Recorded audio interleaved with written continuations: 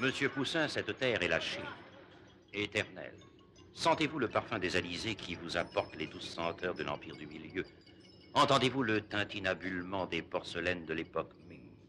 Dans les palais verdoyants où des mandarins laissent s'écouler le temps paisible en compagnie de concubines lassées.